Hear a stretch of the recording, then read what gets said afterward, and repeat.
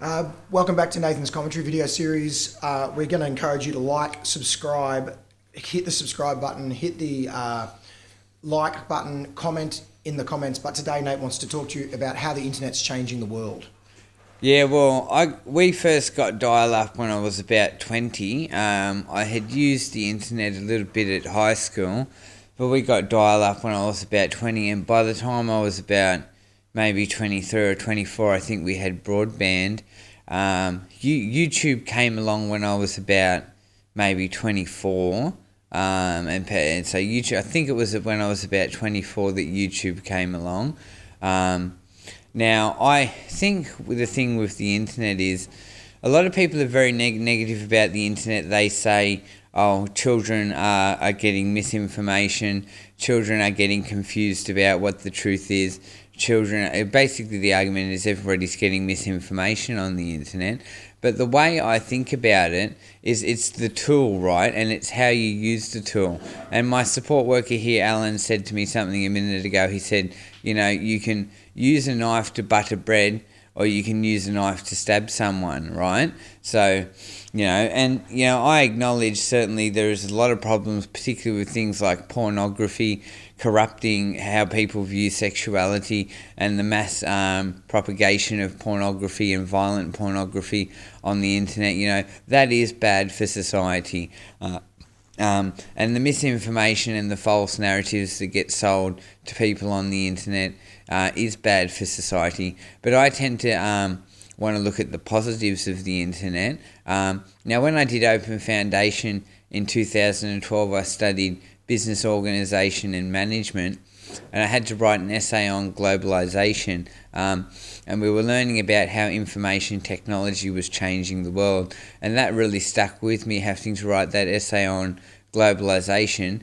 Um, and now, when I talk about the internet and when I talk about social media, I talk about it as a tool to empower communities to act. Like um, you look at the Arab Spring revolutions, where a bunch of um, communities came together to overthrow uh, throw oppressive regimes. They all coordinated their their resistance on social media, um, and social media facilitated the Arab Spring revolutions that took place. Um, that's the positive use of the tool of social media and the internet for people, for communities to coordinate action and to coordinate political action, um, and to co- and for communities to coordinate in general. Um, that is the positive use of social media and the tool of the internet. Um, and you know, with YouTube, there's a lot of stuff on YouTube that's just not true. Um, know, and there are a lot of platforms, a lot of independent pr- producers on YouTube promoting information, uh, misinformation. But what's also on YouTube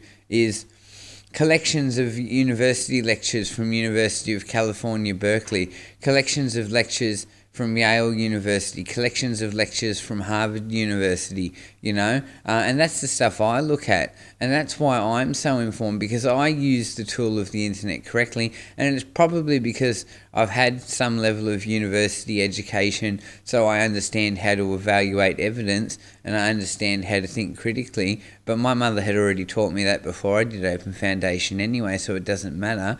Um, you don't have to go to university to know the skill of uh, evaluating evidence correctly and being critical. We can t- we should be teaching that in primary school. Um, so when I go on YouTube and when I go on the internet, I'm looking at university content. Um, I'm looking at science content. You know, I'm reading science blogs that are credible, and I'm reading news and current affairs from credible sources. Um, so I'm getting all the right information. And it used to be if you wanted to get the information in the 80s, like you'd have to go to the library. Oh, I want to study what Plato said today. So you've got to go and buy a book on Plato, and then you've only got one book giving one account of what Plato said and dealing with part of what Plato said.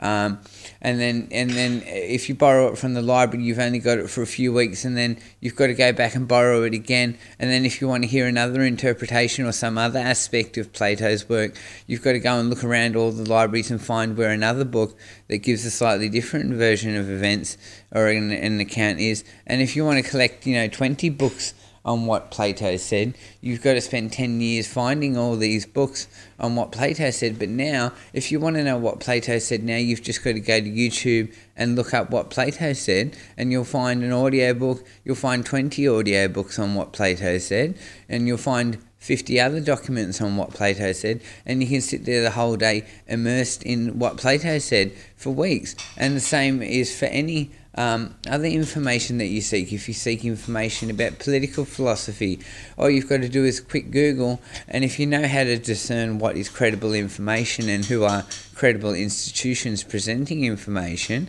you can study hundreds of documents and you can sit there and you can do a binge for weeks just studying university material. And that's what I did at about 27 years old, just after I moved into Newcastle. I was getting around doing art and stuff, and me and my mate, um, we were information junkies. We're information junkies, you know.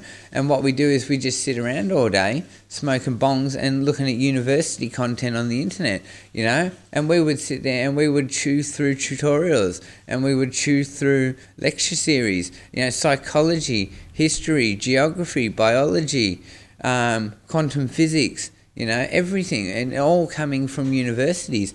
So, um, you know, my view is the internet is a tool, um, and if you have the right skill set of critical evaluation, you should be able to find the correct information, and you should be able to enhance your knowledge of the world without even needing to participate in the education system or on top of your participation in the education system.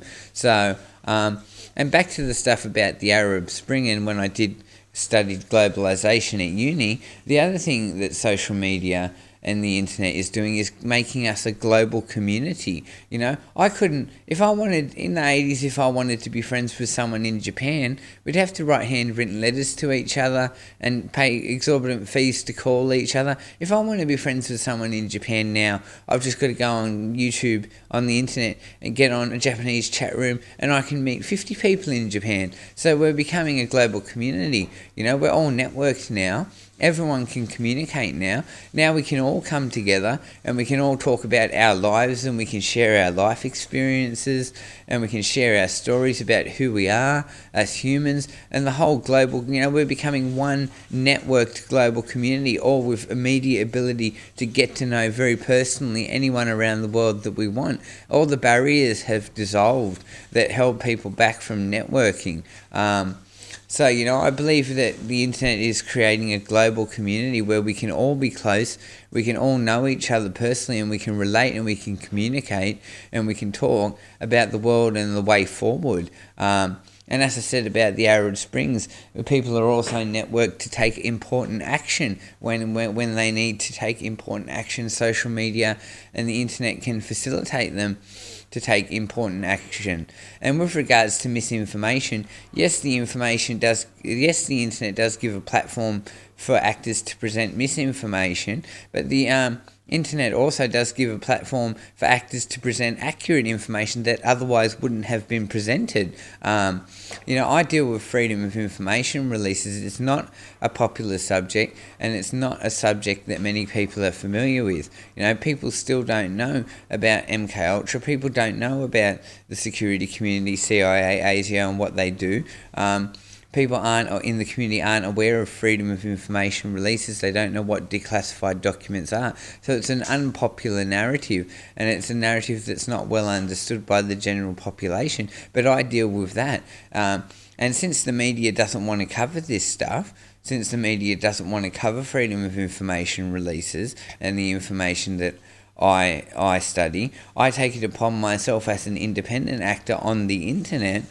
to present to the best of my ability my account of this information that I have studied, and I hope that everything that I present is reasonably accurate, fair, and true. So I'm a sincere actor using the tool of the internet to present my research, which I hope will be informative for people. Um, so, you know, it's like Alan said, you know, you can use a knife to butter bread or you can use it to stab someone. It's a tool. It has good uses and bad uses. And if you use the internet properly, you'll become super informed.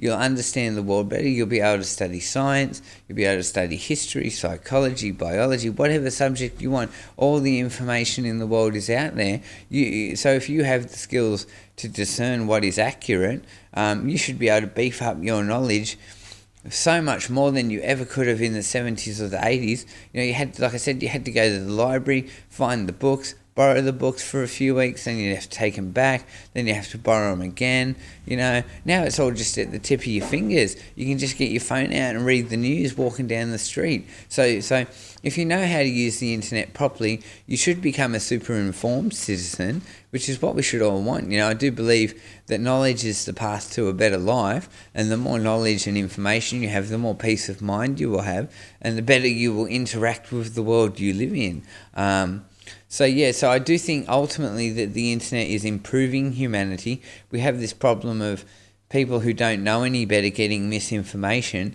and we have these problems of things like hardcore pornography corrupting how people behave. Um, but you know, nothing is ever all good or all bad. I choose to look at the positives of the internet and how it empowers people to learn and how it empowers people to expand their knowledge base and how it networks us as a global community and brings us closer to uniting. Um, the internet is what is going to unite humanity through the interconnectivity of people and their ability to communicate with each other and to learn and grow and share ideas. Um, and that must be the attitude of all these universities that put all their content up on the internet for free. You know, they, they're, they're removing any paywall and they're saying, here, learn. You know, go crazy, learn. You don't have to come to uni and pay tens of thousands of dollars in HECS debt to learn this stuff. You can just sit at YouTube and watch our Harvard tutorials and you can learn it all. Have knowledge be liberated with truth. You know, that's the attitude of these universities that put their content on the internet uh, and on YouTube, and that's my attitude, and that's why I watch that content so I can be informed without being bound to the institution of university. Because I despise institutions. My view is that institutions brainwash and indoctrinate people. Um, so yeah, I do believe um, that the internet is going to evolve humanity and, intercon- and make us a more interconnected species with more access to information. You know, we've got guys now on welfare who, who, who failed in the education system for whatever various reasons, family issues or, or upbringing, but they can sit at home on YouTube and they can watch they can watch university content and they can get informed and they can learn how to live better lives and make better decisions. Um, and all the university knowledge in the world is accessible to guys on in, living in poverty in Africa who can still manage to get access to an internet connection and then can learn. And people with smartphones who are in poverty, they can learn anything they want immediately. Um, so, what we have to do to make the tool of the internet good for society is we have to start teaching critical thinking skills in primary school.